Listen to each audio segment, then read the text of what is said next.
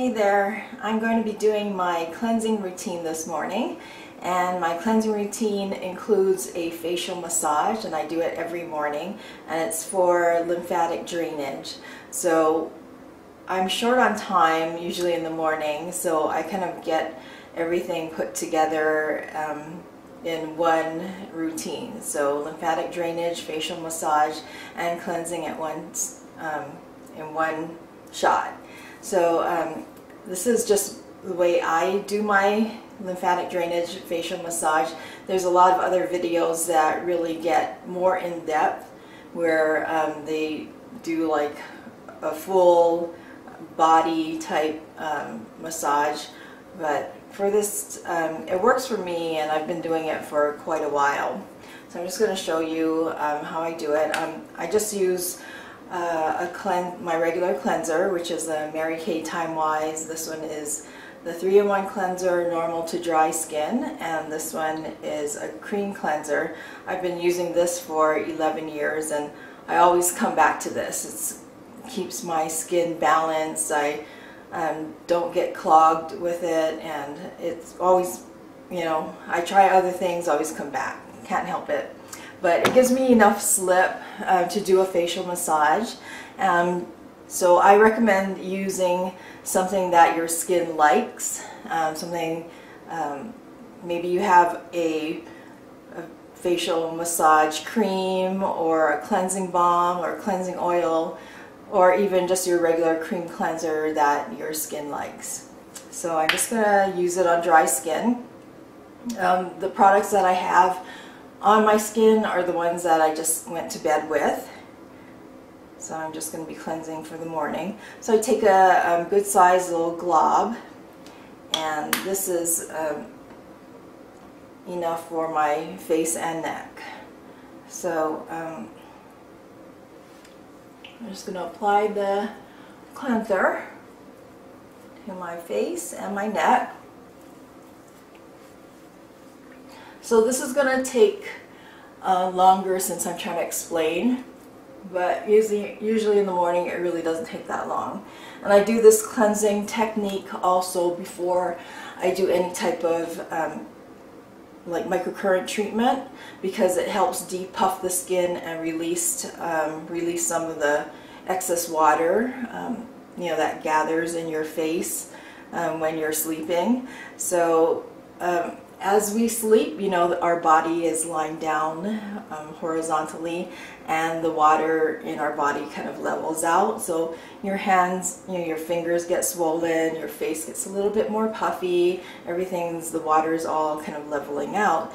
So um, when you get up in the morning, um, it all kinds of kind of comes down and this is just helping that excess water in um, the face to move down. Um, I have a lot of sinus issues and allergies. I also don't get enough sleep and I eat way too much salt so my face is usually quite puffy in the morning you know especially around the eye area and cheek area so I kind of depuff this way and um, you know for the lymphatic system it's its role is to clean out the body of toxins and unlike the circulatory system um, that has a heart as a pump, the lymphatic system does not have a pump. So it relies on basically muscle movement and you're, you're going through your everyday um, body motions, also gravity. So, you know, like when your mom told you that you should be buying shoes towards the end of the day because your feet will be swelling. That's because gravity is pulling down that fluid. Also, you're, you know, going out, going through your own business throughout the day and your body is moving. So that's pretty much um, what the lymphatic system does. Just kind of rinses out the system. It's usually with um, the body fluids. Um, so since we're doing this um, manually on the face, some people have the concern that, well, if you're doing it manually, does it mess up the lymphatic system? And that is, um, no, it doesn't. It's actually very good. You're just helping uh, move out the excess fluid. Uh, you can say that anyone who is doing yoga is doing lymphatic system cleaning manually as well. So anytime you do an inversion, say like the downward facing dog, so anytime your head goes below your heart and you come back up, then all the fluids kind of rinse out. So that's a, you know, any type of um, flow or uh, motion that um, brings the head below the heart and coming back up. It's kind of rinsing out the lymphatic system. So also drink water to cleanse, help cleanse the body as well. Okay, so basically I'm going to be going, um, cleaning out the neck area first and then moving up and then down and then pushing everything out. So we want to do the neck first so things don't bottle neck you know, get stuck in this area. You want to have these channels open so your drainage points are um, straight down in front of the ear and also behind the ear. So you want to kind of move everything out. So the, it's kind of a deeper massage to clean out the fluids. Um, a concern people have is uh, with facial massages that you're pulling the skin, but we are not pulling the skin. So we're adding enough pressure. So we're going towards the muscle and towards bone, and we're gliding the over the skin. Okay, just so you get the technique down. So just remember, and also um, it's good that you're doing your own massage so you know how much pressure to um, adjust to uh, around you know your neck area or your jawline. Uh, your eye area is much more delicate, so you want to be a little bit more gentle on that. Okay, so for the neck, I use um, a couple techniques. You can do like tiger paw. So, so I'm pushing down, across and down. There you go. And then you can also do like a blade. Okay, so we're going to use the side of our hands. And down that way. So I really like to massage these larger neck muscles. We hold a lot of tension in our neck and facial muscles.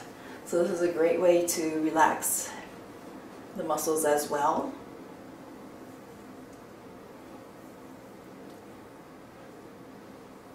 So unlike some women, I do not have that beautiful jawline. You can do like a between two fingers, go across your jaw.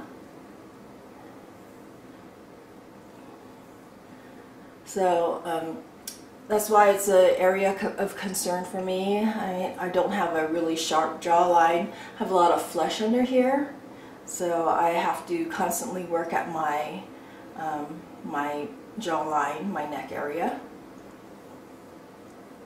So we're just cleaning out the the major drainage areas of the neck. And it feels really good. So, so whatever technique it feel that feels comfortable for you, depending on your hand motions and dexterity. So just kind of cleaning out the neck area and releases a lot of tension. I got a lot of stress in my neck. Okay, then we'll move up. I like to massage the lip area. There's a uh, muscle here. So whenever uh, you do like pursing of the lips, it's it's going to tend to wrinkle the skin on top. So as we age, we lose elastin and collagen in our skin and then so the skin doesn't bounce back like it used to. So I like to massage the lip area, especially the marionette line area. So, so story about losing collagen in the skin. I was um, using some Groupon coupons for massage therapy. So I got, you know, several series for my daughter and myself. So we would go together and I would see the uh, massage therapist first.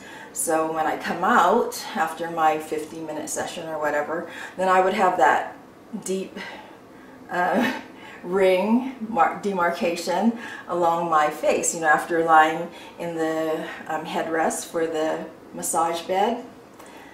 So my daughter's laughing, thinks it's so funny. So okay, so I wait for her. She goes through her um, her massage, comes back out. So her little crease there, boing, pops out. 16 year old skin, no demarcation from the massage pillow, but for me it lasts for hours. So that's how you know that our skin's not as um, elastic or elast, you know, doesn't have that bounce back anymore.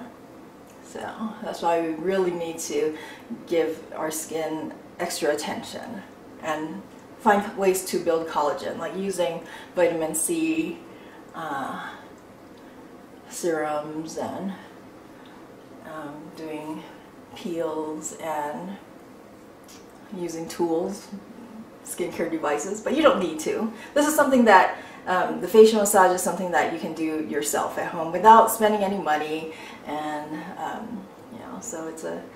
That's why I wanted to share this with you as well. Okay, so I just kind of move the fluid up and out.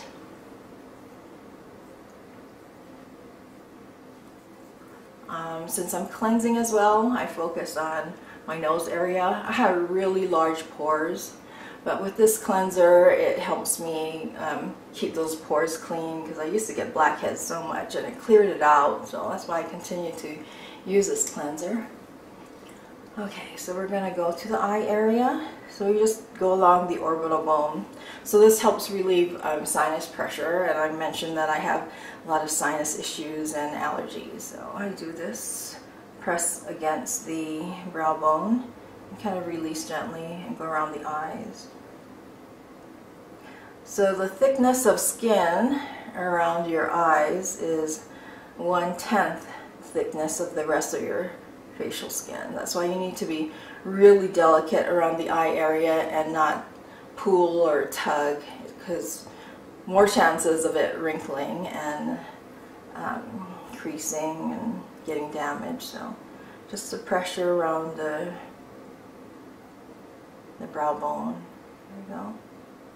I just kind of move everything out and you know knowing that um, this area is more delicate, you know, just lighten up in this area. So we're going to just come to the forehead and we hold a lot of tension in um, our forehead area as well. So you notice that a lot of people have expression lines, the horizontal lines here.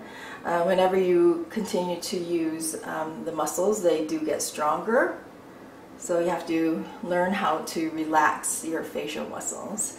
And, you know, a lot of people say they can't do it, but you can train your um, your muscles. You you can focus on it, bring attention to it, and as long as you know it's there, then you can um, work on it gradually. So I still have um, some horizontal creases in my skin, but as far as the muscles, um, they don't um, automatically or subconsciously um, wrinkle. When I raise my forehead, I do it um, more consciously. So about 15 years ago, my sister's mother-in-law um, owned a, a Korean cosmetic skincare store in Hawaii. So when I went to visit, she would just like pop me in the head, just flick me in the forehead. And I was like, whoa, what what's going on, lady? So she said, oh, these lines are permanent. So she brought the attention to to me that I was wrinkling my forehead and I had no clue that I was. I also did the uh, scrunch a lot, you know, so I was creating some expression lines in here. So after she brought the attention to um, to me that I was doing that, then I kind of learned how to relax my face muscles and you know and massage also helped um, remove um, those deep wrinkles. But still within the skin itself there's you know creases. It's not that noticeable but I still see it. So that's why a lot of these expression lines or deep wrinkles are the ones that we do ourselves. And just recently I noticed that I had been doing it to myself as far as uh, marionette lines. So I was driving my daughter to school and um, you know I told her we're leaving at 6:30 and 6:30 does not mean 6:39 um, we had a far drive and we had to wait in line to get on the uh, military installation. You know they check IDs there's a lot of um, employees there. So a lot of cars. So I noticed that I I noticed that I was getting kind of angry at her and I was just driving angry. She's sleeping, she's sleeping in the car, but I'm like, you know, I was making grumpy cat face. And it was causing the marionette lines um, to get deeper and more obvious. And this is an area of my concern as well because I have fuller cheeks um, as I get older. Um, the loss of muscle tone in the cheek muscles causes my my fuller cheeks to kind of come down so you know so I want to keep everything up that's why I use the microcurrent to work on my cheek muscles and kind of avoid keeping that tension in my mouth area. So if I'm angry, I'm angry like this. Yeah, like that. Did you see the light flicker? That's my anger. Okay, so, and I'm pinching the jawline here. And we're just going to bring everything down. So, so along those sides, and we're just going to drain everything out.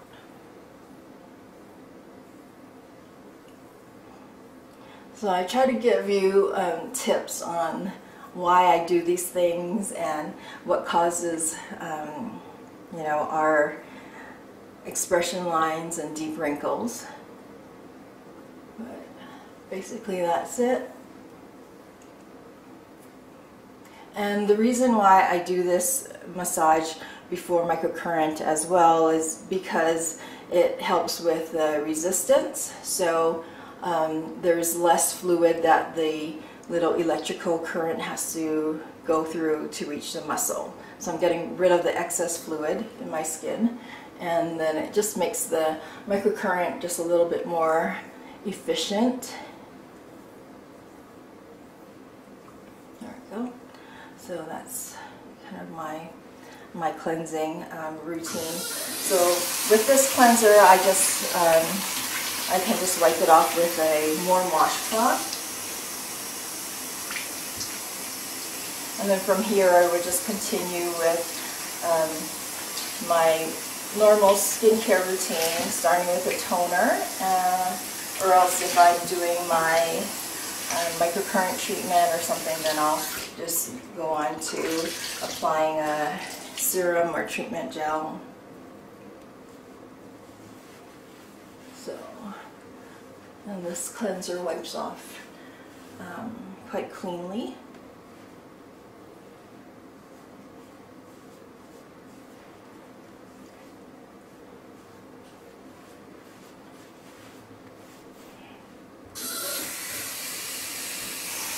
So I hope this video has helped you. Um, if you try the facial massage, let me know. Um, I hope that um, you get some good benefits out of it, like I do. It's all you know, it's just to keep your skin healthy and in balance. And this is something that you can do anytime. And definitely check out other um, more in-depth videos on facial massage for lymphatic drainage and you can get a better understanding of how the um, lymphatic system works. So, and pretty much that is it for me. So thank you for watching and I will see you later. Okay, take care. I'll see you. Bye.